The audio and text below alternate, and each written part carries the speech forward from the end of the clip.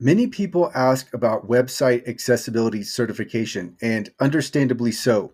Website owners want tangible evidence that their website is, in fact, accessible. Of course, this comes in light of all of the website accessibility litigation that is ongoing in the United States. Now, one note is many people use the term ADA compliance certification. We can't issue that because we're not a governing body, among other reasons. However, the certification that accessible.org provides will serve the same purpose. And so on the screen with me, we have the first document, which has the heading one website accessibility certification, that is followed by a date of issuance.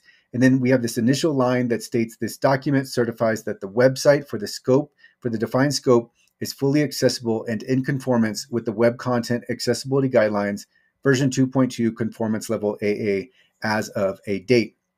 And then the following section includes all of the method evaluation methodology. And this is really important because it goes to show all of the investment and the work um, that has been put into ensuring that the website is indeed free of accessibility issues.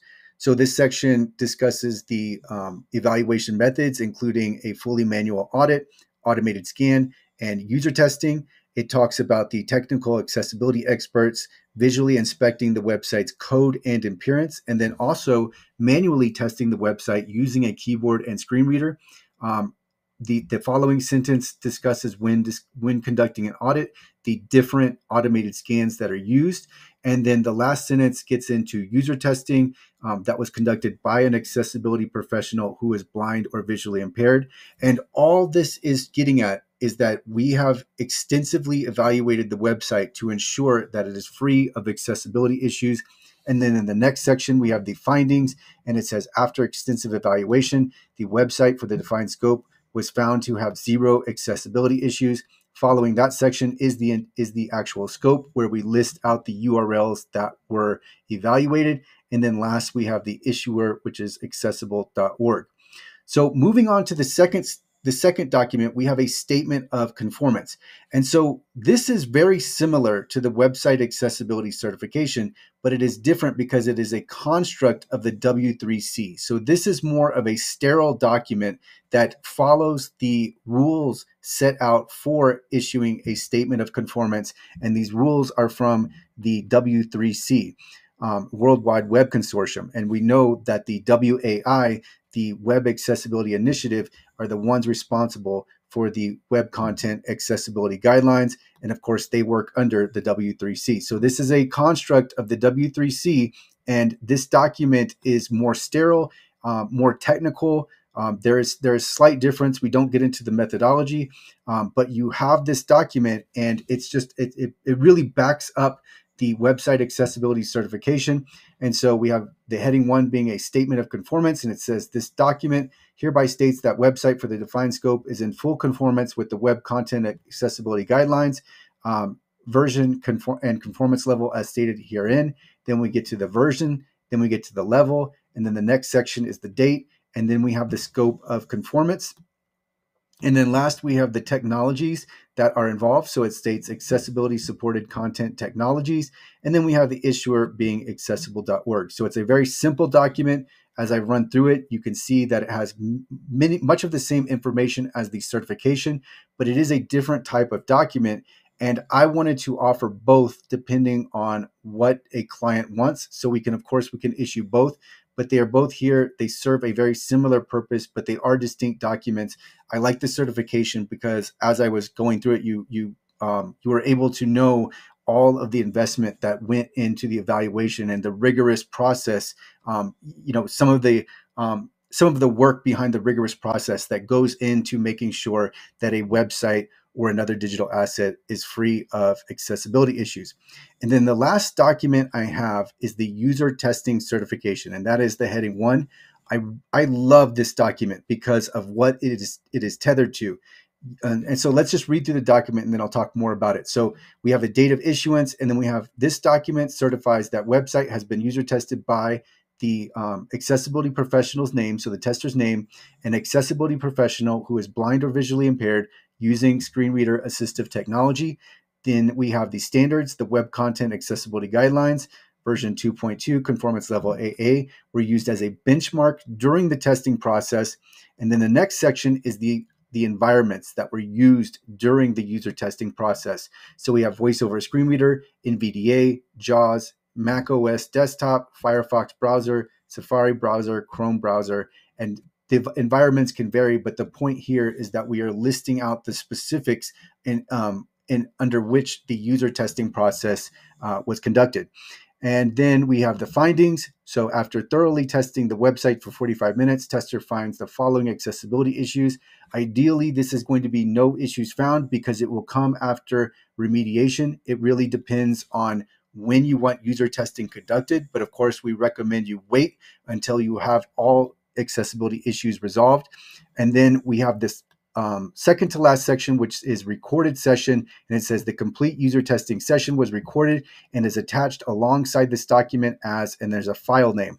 So this to me is, is so key because we have demonstrable evidence that a, a, a professional with a disability has gone through the website and relayed their experience and and there were no accessibility issues found and so this to me is is so important and this document represents or really acts uh, in tandem with the video recording but of course the recorded session is is so compelling. And then the last section is the, is the issueraccessible.org so a few things about these documents. The document itself is not what's important. Although many people are focused on the document, what's important is the investment and the work that the document represents. That's the key here, because these documents are really just um, they're really just the representation of that work. They really are saying that everything has happened, but they are not what is making the website accessible. And, and uh, I say this just for emphasis because many people are so concerned with the documents but it's not really the documents. It's the, what the documents represent. Um, the details and specificity are really, really important to me because they show attention to detail in a thoroughness and a, a regimented process. So the details and specificity definitely play a part in how compelling the documentation is. Um, you cannot purchase this documentation directly. I've had many people ask, I just want certification okay, but you have to have the the requisite service to receive the certification. So at a minimum, let's say your website was fully WCAG conformant, then you would need an audit so that we could certify that your website is accessible. So it can't you can't just receive the document. You can't it's not for purchase. The documents actually come with the services. So they in a way they are free, but they come by way of the services because to certify, we need to make sure that what we are certifying is actually true. So you cannot pay for these documents. Um, I have here uh, the video documentation, recorded user session. Um, that's all there. And uh, yeah, and then conformance must be completed for every URL named in the scope. So um, this is very compelling documentation and um, very valuable documentation. And that's why I offered it is I think a lot of website owners um, want this type of certainty that their website has indeed been thoroughly evaluated and is actually accessible. And um, that is one reason of many why you cannot purchase this. You can't purchase it. You have to um, you have to go through the process to receive it. So this isn't direct available directly, but it is available if we audit your website and we evaluate your website and we determine that there that there are no accessibility issues.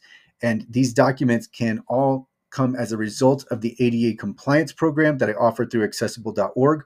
I will include a link to details about the program, but just know that it includes an audit remediation, and user testing. And again, user testing is so, so important because there we have that tangible evidence and it, we will provide the recorded video session. Now we can we can provide the user testing by itself, but you may not want to do that if you have accessibility issues because what will happen is those issues will come up in the user testing session and that will that will be recorded and be provided to you. So you just have to think about that. But so many people ask about certification and we really wanted to be thorough with this and make sure that it is compelling and it is something that you could use to potentially have a case dismissed in court because you have this and it is tangible evidence and that It doesn't really get any better than this. So I will include a link to accessible.org. Of course, if you would like consultation on accessibility and ADA compliance and making your website ADA compliant, um, you can consult with me through accessible.org. But for now, I covered the three documents that we offer for certification to really um, provide tangible evidence that your website is in fact accessible.